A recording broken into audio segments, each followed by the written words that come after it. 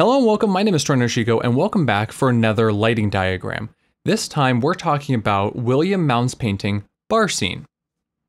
So to start off, I actually have already imported the painting into Draw.io. Draw.io is a free and open source diagramming software that I built a template for for having filmmaking based tools to make lighting diagrams for my own projects and for these videos. If you want this template for free, it's on my Patreon and there's a link to that in the video's description. And below that are some links to some videos that kind of show you how to import it into Draw.io and import your own images for references. Um, this is a really easy way to make lighting diagrams that help you communicate with your team when you're working on a project. And I want to mention that if you like this kind of video, I have a lot of them that I've already made and a lot more coming. So definitely feel free to subscribe and give a watch to those other videos if you like this kind of lesson. So let's get started by talking about the painting itself and the lighting that we can notice in the image. So first off, as usual, we're going to talk about some shadows here.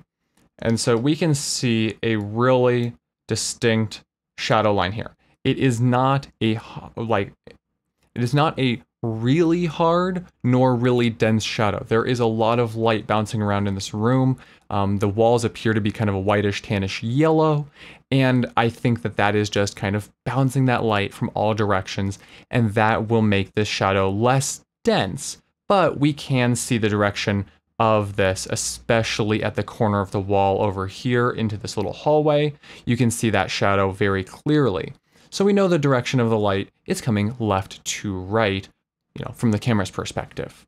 We also can see that this right here is a cabinet has the edge of the light um, on the front edge and then kind of around the corner once again is in shadow. So we definitely have a good idea of where the light's coming from and how it's coming into the room. This is kind of the back of the bar room with the left of the painting that's out of frame being where the bar itself is and then probably some windows at the front of the establishment. Now, as I said, there are a lot of light colored surfaces, both the ceiling, the wall, and the floor um, that is going to help us have a lot of bounced light in this image and really spread it around, which is going to help us with our overall exposure. Now, there are one, two, three, four, five, six people in this image, and we want to make sure that we can see all of them. Even the person who's staying back here in the hallway, we want to make sure that we're getting enough light on them to actually see them properly. Now, notice that they aren't in the shadow line, so that does help because we can use some of that key light coming from the left side. Also, just take a moment to notice this chap right here. I think that he looks a little bit young to be inside of this bar. Now, one thing that you notice, um, and you know, you it's easier to notice when you're looking at it almost as a thumbnail size, but there is almost a actual spotlight look that goes just like that in the center of this image that is the brightest spots, but there is sort of a vignette to the light. Now, if you're replicating this effect in camera, you can use a spotlight look, and that's pretty much what I'm going to be showing you today. But you can also use techniques like vignetting in the lens or vignetting in post to help accentuate and center the focus right in the center of the image. But that bright circle of light as a spotlight in the center of the frame helps create contrast against the dark coat even when illuminated of the guy who's standing in the middle of the group of people. But I just thought that was very interesting that it's easier to notice that when you're looking at it almost as a thumbnail size. So now with all of this, let's get started building our scene. Now, Draw.io comes with built-in floor plan tools, so that is how we will start. So this is the general shape of the room as far as we can see it. Um, so now we need to add in some details. Now, there are, uh, what did I say? Six people? Yeah, I can count. So how close are, so we're going to make sure that, you know, they're kind of positioned similarly to how they are in the actual image. But we're going to have those three guys there. And then we're going to have the two people that are standing. Now, I am differentiating between the people who are sitting and the people who are standing. Um, the child is short, so I'm going to put them in the sitting category um, just so that when we plan our lighting and we know where people are blocking wise, it helps with you know making sure that we're getting everybody illuminated in their space that they're actually occupying.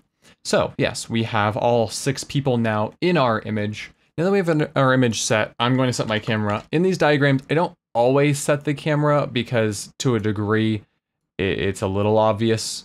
Um, and we're mostly talking about lighting. But in terms of this one, I'm going to place it back here. Now this is a pretty wide shot in terms of the actual view that we're seeing. We do see from this wall all the way into the front of the space we do see floor to ceiling. So we are working with a wider view here and we can supplement this by using a wider lens. This might be actually towards that like 24, 20 millimeter, somewhere in that range.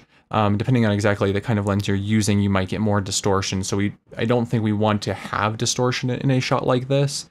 Um, because there are just so many straight lines that are vertical and leading lines.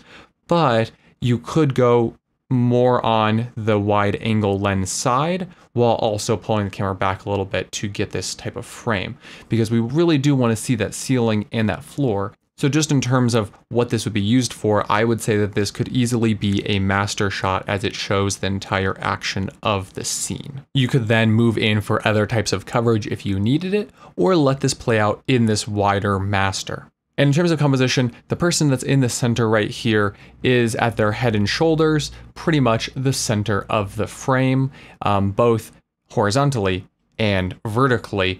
Um, we do really have our attention focused on them, and that is accentuated by the circle of light that is acting like a spotlight.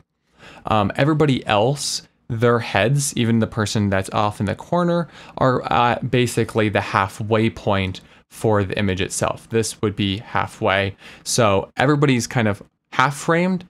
He's rising above that line, breaking it, and also becoming kind of a cross composition for this image. I, I kind of discussed the composition and the master aspect of this because you want to have your light far enough back that we're not having it become super obvious or having it run into the shot. If you are moving in for coverage, you can change the light and manipulate it a little bit more in terms of the setup to get the exact details and the feel that you want for those individual closer in shots. But here we're lighting this as a master. So one thing also in terms of the lighting of this scene is that it's coming pretty straight across. I think that it is a window that would be at the front of the establishment, but here you can see that the ceiling is actually not as high as this back room right here. So we're not having something that's specifically like a top-down light coming in. Lots of paintings we look at, we do have this kind of top-down window light um, that might be from a higher window um, on the wall or covering the bottom part of the wall to get the certain type of lighting for the paintings that we look at frequently. This does not appear to be that same case. We are getting something that is a window and the light is coming almost straight across to everybody. And you can tell that also from their faces. The lighting doesn't seem to be making a shadow up or down on the faces in particular.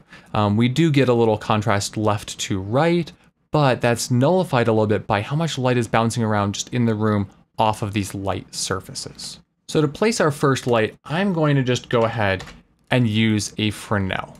I want my key light here to be Fresnel based so that I can have not only the control of the hardness of it, but also that does make that light already into that rounded spotlight shape. So we're gonna do that and we're gonna put it right here and we are going to position this very carefully because we want to make sure that we are establishing this diagonal line right here from the shadow. And we're going to bring our light in just like this. And now as the diagram, you can clearly see how the angle is playing to make that circle of light. We're using the Fresnel to make that light source rounded and we are then able to control that hardness. But we are getting to create this shadow diagonally right across there, and it'll come right across here. Okay, so my power just went out for just a split second, and I lost my diagram. So remember kids, save early and save often. But we're back now, and the diagram does look a little bit different because I had to rebuild it. Um, one thing that I did add is these gray blocks to kind of demonstrate where the shadow would be where that light isn't hitting because it's being blocked by the walls. Um, and I think that's a very important part of this image. And something that I didn't discuss previously was that we do actually have a line on the ground besides this shadow line. We also kind of have a darker area here, and that's where the light would be falling off towards the right of the camera and the right of the beam as it moves further away from the subjects. And so we can kind of see that our beam comes through right about here. I think this is a relatively accurate look at how that beam could look. Now, depending exactly on the space, you might need to be a little bit closer, a little bit further away, and that will also depend on the type of lamp and the strength of the light that you are using. Now, we want to recognize that the walls here should be white or yellow, something very light. The floor is wood, and that is going to be a very light color too. So we will get a lot of bounced light in general, but I think that we will still need more and that's because this scene doesn't have a huge amount of contrast. Really, the defining factor of this to me is that spotlight type circle at the center of this image, just right about here.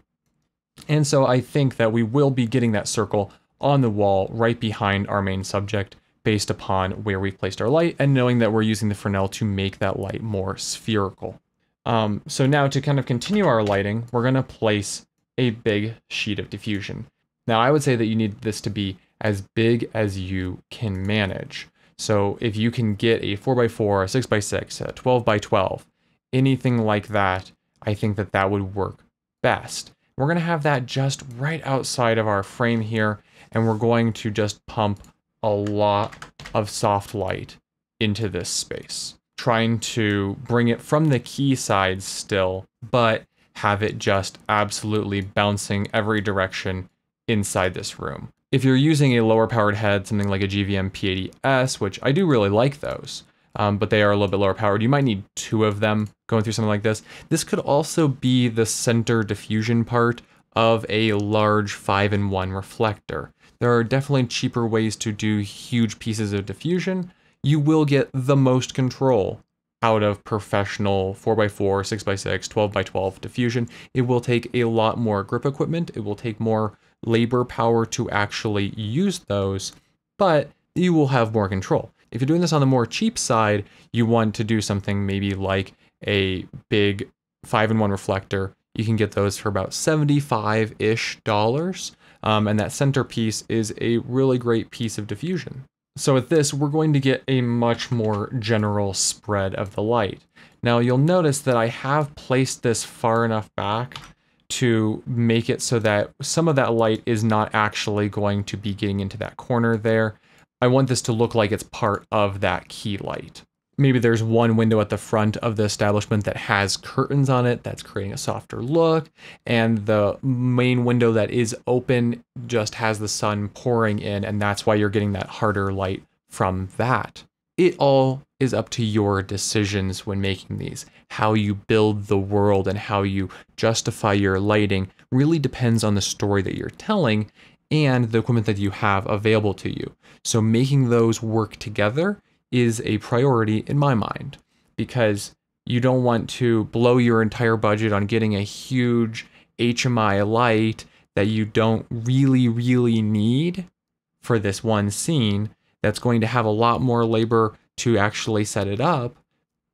But you also don't want to say, well, it can be a chandelier inside that'll work well enough if that doesn't actually tell your story in the way that you're looking for. Now, I would say that you could even have another large bounce. This once again could be a 5-in-1 reflector and, you know, of a 6 foot type dimension. And we can just put that on this side and we're trying to catch more light and just push that back in. We're trying to make sure that the job of these walls reflecting light is being done by controlling it ourselves directly. As I said before, this doesn't appear to have a top-down look to its light. So I would be less inclined to use something like a top-down lantern or a top-down octabox here, even though that would provide soft, um, mostly non-directional light, I just don't think it works as well as bringing more soft light in from the left side or bouncing it back into the scene from the right as if it was coming off that wall. The place where I could see some extra light being used is just on the other side of the Fresnel. Um, just having one more lamp over there with something like a 4x4 to kind of graduate from the 6x6 to the Fresnel down to the 4x4 and kind of have it have this graduation of the light as it moves from left to right of the frame and, and the lighting setup, and then have this over here just to catch anything and bounce it back towards them. That might help soften some of the shadows, especially around the corner, but I don't think this is strictly necessary unless you need that exposure. So this is one way to do it. This is pretty professional and it would be more expensive. Now, the thing is about this setup, you can use a cheaper Fresnel or more expensive Fresnel. You can use a 5 in 1 reflector or you could use a 6x6 actual diffusion frame. There's different ways even in this setup to actually pull this off. I will say that if we want to pare it down just a little bit more, we keep the bounce, we keep this Fresnel lamp over here, and then instead of having a diffusion frame here. Instead, we use an Octabox to help just bring that around a little bit more. That's not going to cost you as much. Maybe over here, instead of using two lamps, you could just use one depending on the power of your lamp, but this diffusion can be one of those 5-in-1 reflectors. If you don't have that, you could do this once again with an Octabox.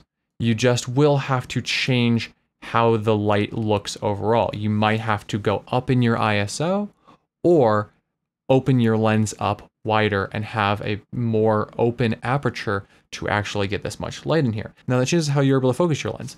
This person might be pushed out of focus. It might be harder to follow the focus of this person as they dance. So we make these decisions when we're lighting and designing our lighting to make sure that we're not caught off guard by suddenly needing more light, having to go down an aperture, and then now having to pull focus a lot more accurately. I would say that this is actually a pretty non depth of field oriented image. We want to be able to see that person in the back there. Maybe that person is the center of the story actually, and they watch as their friends have a party. I don't know the exact story that's going on in this painting, and how we actually not only do the lighting, but plan for those other technicals like focus and like the movement of the people and following that focus. That depends on the technical budget, the technicals that we can achieve with the budget that we have and the time and labor that we have. It's all a really big equation that we're trying to work out to make things as creative and as practical as possible. You could achieve a soft light with an octabox here. I would say that actually doing this method would be so far more useful because of the size and the diffusion that you're going to get off of that. Um, and if you really don't have the budget, you can use one lamp and this big piece of diffusion. It will get you softer than the softbox while also being a little bit less money. You still might have problems with how much light that you have in the scene, but you could always then move that a little bit far forward and change your frame just slightly. Um, there's definitely ways to make this work. Here, this octabox can come in just a little bit more also to bring up the light in the room. There's so many different ways we can make small tweaks to our budget. If you want the most creative control, you would use a bounce or a 6x6. You would use a 6x6, maybe even a 12x12 if you really want that soft light over here with one to two lamps. Here you'd use a 4x4 frame. You'd have to have two C-stands for this and one C-stand for this. And then you'd have to have your Fresnel and your lamp right here. Now that would be considerably more money. Rentals would definitely help that be a lot less expensive than if you were trying to buy all that equipment. But then you could also do just the 5-in-1 reflector core diffusion piece. You could do the 5-in-1 reflector over here. You could do a 4x4 or you could do a 2x3 right here, silk. And you could use something like the Aputure Fresnel. If you wanted that to be a really large, really focusable source, you could use the F10 Fresnel, or you could use the smaller Fresnel that they also have. Um, maybe if you are on the bigger budget side, that F10 Fresnel would just give you a little bit more power and a little bit more shaping to your light. It all depends on what you can access and the story that you're telling. Um, over here, I think this is a very reasonable, low cost alternative. If you can tolerate just a little bit more darkness in your image, either by manipulating your ISO or some other factor, or because your story allows it to have more darkness, maybe it's a little bit later in the day, you know, something like that, then you will be able to pull something off a little bit cheaper with a setup like this one. But to me, in either of these setups, the main focus visually that we're bringing from the reference image is to have this almost spotlight look on our main subject here, bringing the attention and the focus to that center of the frame combined with the composition of the image itself. So please let me know if you have any questions about this lighting diagram. If you want my filmmaker template tools, you can go to my Patreon, patreon.com slash Trenton Hoshiko and download it there. I have a link to that directly in the video's description. You can also subscribe on Patreon. I have tiers that start at just $2 and they help support not only my lighting diagram videos, but also my regular cinematography videos as well. You can also tip on Ko-fi or buymeacoffee.com, and I have affiliate links to the types of equipment that I've been talking about today down in the video's description. All of those different things help support the videos and this channel overall so I can keep creating these types of video lessons. And if you like videos like this lighting diagram, you can subscribe for more of these and my regular cinematography videos. Thank you so much for watching, and I hope that you have an absolutely wonderful day.